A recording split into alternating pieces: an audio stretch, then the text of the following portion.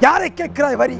எதற்கு கேட்கிறாய் திரை? போரடித்து நெற்குவிக்கு மேடி நாட்டு உழவர் கூட்டம். பரங்கியரின் உடல்தனை போரடித்து தலைதனை நெற்கதிர்களாய் குவித்து விடும். ஜாக்கிரதை. கலைநிவாழ் உழவனுக்கு கஞ்சி கலையம் சுமந்தாயா அல்லது அங்கு கொஞ்சி விளையாடும் எங்குல பெண்களுக்கு மஞ்சள் அரைத்து பணி புரிந்தாயா?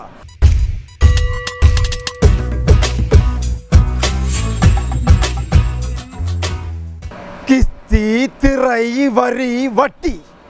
வானம் பொழிகிறது பூமி விளைகிறது. உனக்கேன் கொடுப்பது கிஸ்தி. எங்களோடு வயலுக்கு வந்தாயா? ஏற்றம் இறைத்தாயா? நீர் வாய்ச்சி நெடுவயல் நிறைய கண்டாயா?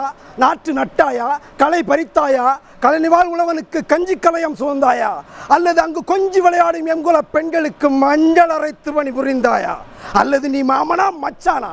மானம் கெட்டவனே யாரை கேட்கிறாய் வரி? எதற்கு கேட்கிறாய் திரை? போரடித்து நெற்குவிக்கு மேடு நாட்டு உழவர் கூட்டம் பரங்கியரின் உடல்தலை போரடித்து தலைதனை நெற்கதிர்களாய் குவித்து விடும் ஜாக்கிரதை.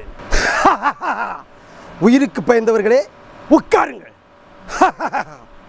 அகம் அழியவில்லை உனக்கு. உன்னை அழித்திருந்தாலே நகம் அழிந்திருக்கும். அல்லது எட்டப்பனும் தொண்டைமானும் எங்கடையே பிறவாதிருந்திருந்தாலும் உனக்காவது அகம் உண்டாகாதிருந்திருக்கும்.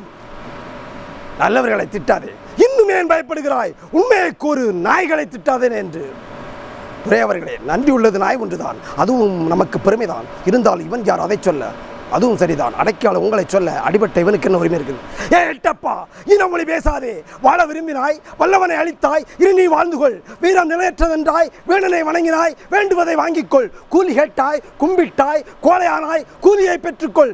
ஆனால் அந்நியன் உன்னை போற்ற வேண்டும் அது உனக்கு இனிக்க வேண்டும் என்று மட்டும் எண்ணாதே. நீ காட்டி கொடுத்தாய் நான் காட்டி கொடுக்கப்பட்டேன். நாம் இருவரும் இதே மண்ணில் வளர்ந்தவர்கள்தான். உன்னை கேடு சூழினும் ரத்தத்தின் நிலச்சத்து எங்கோ ஒன்றித்தான் இருக்கும். அதிலின் நம்மிடையே என் பேச்சுக்குத்தான் இங்கே இடம் உண்டு. ஏற்பது உனக்கு இழிவென்று காரணம் உரிமை என்று ஆனால் அவனோ நேற்று வந்தான் இன்று இருப்பான் நாளை போவான் என்னும் எல்லைக்கு இலக்கணத்திற்கு உட்பட்டவன். இம்மியான நம்முடைய ஒவ்வாதவன். அவன் கத்தி பாய்ச்சதும் கலங்காதே. ஆனால் அவன் பேச்சு கேட்டு மட்டும் வாழாதே. நான் கூறுவது உனக்கு மட்டுமல்ல. எங்களோடு சிங்கங்களாய் பிறந்து இங்கே குரல்களாய் கூறி நிற்கும். இதோ அத்தனை இனர்களுக்கும் மானவிற்ற மடையர்களுக்கும் கூறுகிறேன். சீ கூறுவதென்ன? தூ காரியம் எழுகிறேன்.